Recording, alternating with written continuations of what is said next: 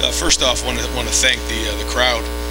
I thought for a night game, um, I guess the attendance was 95,000, and uh, and you heard them. It, it was fun. Uh, you could tell they were having fun out there. They were loud, and, and it was great to run to a, just about a full stadium. So I really appreciate everyone's support there. Overall in the game, I thought we did some good things. I thought that um, there's still some things to build on, of course, um, but you can certainly see there's a lot of guys out there that you know desperately need these snaps and this experience uh, to keep building. And that's the idea: is that if we keep building, uh, then we'll have a chance to get to where we want to be by the end of the season. We'll open up with questions. Uh, far left, Bill Landis, The Athletic. Ryan, uh, what transpired there with Kayvon Pope in the second quarter that it looked like you totally him leave the sideline after all that? Yeah, so um, you know, someone just kind of told me. Uh, I guess there was some with a tweet or something. I'm going to kind of get the details of everything that happened before I say anything there. Player transfer midweek from that group, and then obviously this happened today. Uh, you're already late on guys there, but I don't know, I I what's going on in that room right now. Are you okay with how that's all kind of coming along? Well, in, in today's day and age, you know, guys can, um, you know, leave, uh, you know, with four games because they, you know, uh, can redshirt, and then, um, you know, if they want to go into the portal, that's that's their prerogative. And you know, I have a hard time with that because I think, you know, when you make a commitment to a team at the beginning of the year, um, you make a commitment to Ohio State and to the Buckeyes, that that's that's what you do. Um, one of the hard things is that you know you have to play certain guys, and you know you have to make some decisions on who- you know who's playing in those games, and you know you just you, know, you, you really count on the guys to still be great teammates if, if they're not getting on the field. Over here to the right, Austin Ward, Lettermen Row. And I, I know that you'll say that you need to see the film before you comment, but Sure. what your first first glance at these quarterbacks and what you thought leaving the field, and if that changes anything for you next week if CJ's healthy. Um, I, like you said, I'll, I'll watch the film um, and see. Uh, you know, you you see certain things out there. Um, I thought there were some some things that were okay. I thought there were some things that we need to certainly clean up. Um, I thought uh, I got to find out where where their eyes were at times. Um, you know, with Kyle, um, you know, does a really good job preparing. Um, you know, excellent job. He puts a lot of work into this thing, and so uh, you know, it's it's the first time he's ever played in, in a college football game. He's a true freshman, um, so I think the game was moving pretty fast for him early on. Um, but but he was even he was working at hyperspeed, I think. And uh, one of the things we talk about with young quarterbacks is finding the speed of the game. And um, like, I think there were times where he did. Um, and then I thought, you know, Jack came in and kind of gave, um, you know, had some poise in there, and he made some nice throws as well. I thought, um, you know, he did some positive things. So, again, we'll kind of look at it. Um, probably not going to make any hard decisions here, but it's just it's it's part of the puzzle for sure. Uh, front row left, Pat Murphy, 24/7 Sports. Ryan, on the quarterback topic, when we talked to you on Tuesday, you said you weren't going to put a guy in arbitrarily. We took Thursday. You you announced that CJ probably won't play. Was there any trepidation about playing these guys, having them play well, and then causing any sort of quarterback competition that maybe you didn't want to have mid-season? Well, I, I, from the beginning, I've said that we're going to need all three, and you know what does that mean?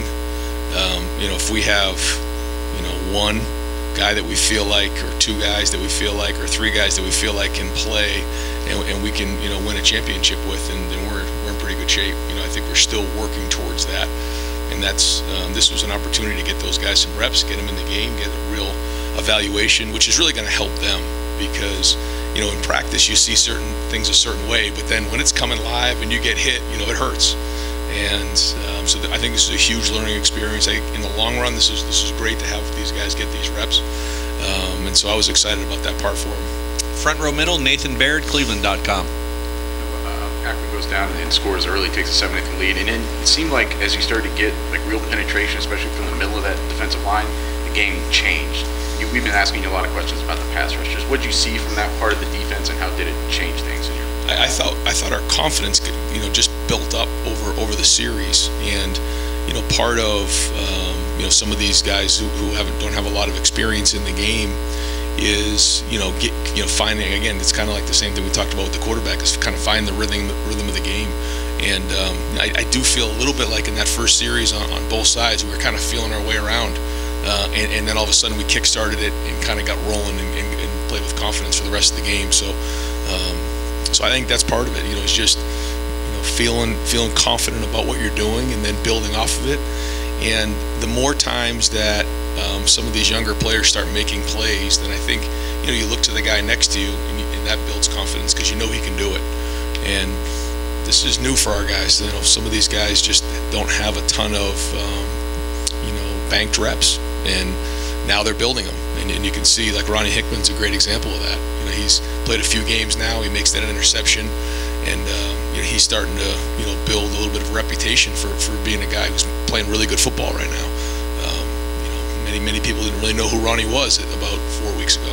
You know, and now he's really doing it. Cody Simon starting to show up, and um, you know, so again, I think it, there was some there was some strides in the right direction. And I thought we were aggressive overall, which was good. I thought we tackled well. Back row left, Clay Hall, WSYX. Did you say anything to Kyle after that first uh, possession? It wasn't art, wasn't an artistic success, but I mean, he threw, you know, you saw it, threw behind, threw over, threw. Um, did you settle him down right there? Yeah, I tried to. Yeah, just take a take a deep breath. Just take a deep breath and uh, and, and kind of find the speed of the game. You know, and just trust your eyes, trust your reads. You've done a lot of preparation to get here, and and and then and then I thought he settled down a little bit. Breathing pretty heavy. Right yeah, I think so. Pretty good. Yeah. Uh, front row middle, Bill uh, Rabinowitz, Columbus Dispatch. Do you have a sense of whether uh, CJ will be able to play next week? Um, and did you get what you wanted to out of this game? Well, I think we got the experience, and that was good. You know, but for both of these guys, got some reps. Um, I also think that uh, you know when it comes to CJ, we'll kind of see that tomorrow. You know, we'll practice tomorrow and see how he's doing.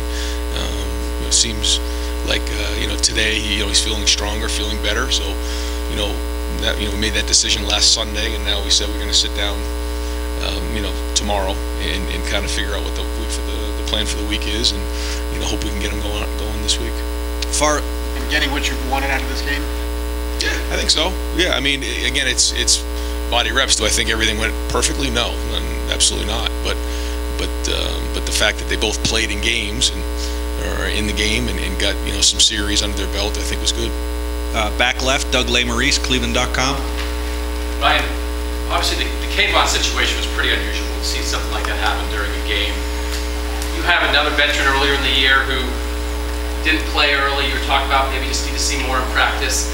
Is, is there anything happening that it, is any of this any indication of anything happening within the team, especially to have an incident like this with Kayvon that publicly tonight? No, no, I, it's it's what it really is is just I think you know a lot of guys they want to play and you know you can't play everybody, and, and then their you know frustration kicks in and um, so again I, I don't really want to comment too much on that you know particular situation, but I certainly think it's very isolated. Uh, front row right, Tim May, Lettermen Row. Yeah, you talked about this a little bit earlier, uh, Ryan, but when you leave here tonight, you feel a confidence that you've got a quarterback or two. If something does happen to CJ's, we've talked about that many times, you feel much better about that situation than you did three hours ago from the standpoint of a, a guy who went in and has now played, at least played a game. I, I think now you know what you have at least. No, I, I wouldn't. I wouldn't even say you know what you have, but at least you have an idea of what you have when you get into the game because you, you don't know until you actually play.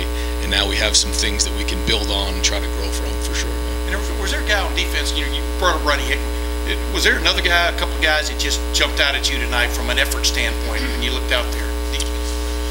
Um, just trying to think of some of the guys. Uh, I, I thought Cody played hard. I thought, um, you know, again, I saw Tyleik in the backfield a bunch. Um, you know, it was good to see Mike Hall. Mike Hall, somebody who hadn't really uh, done a whole or had a whole, whole bunch of snaps, but he was kind of back there. You know, he had a couple penalties, but I know he played hard. Um, looked like Lathan was playing hard. You know, again, you have to kind of watch the film because you just see bits and pieces. But um, overall, I thought, you know, we, we kind of brought it pretty pretty good there. A couple points.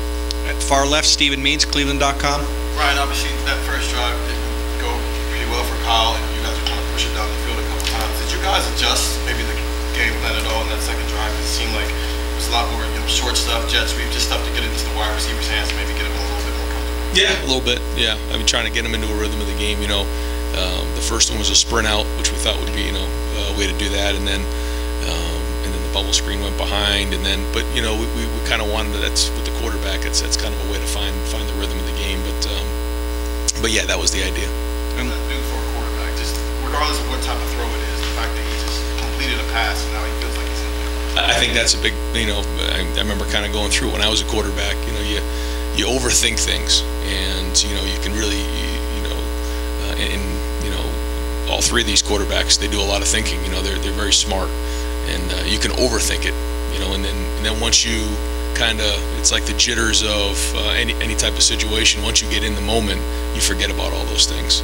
And, um, and that's kind of what, you know, you hope to do with a couple completions, kind of flush out all those jitters. Now you can just go, go back to your training and your instincts.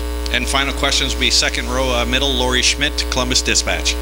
Coach, I know you have to review the incident and everything, but there's a report out about it. Can you tell us what Pope's status is with the team right now?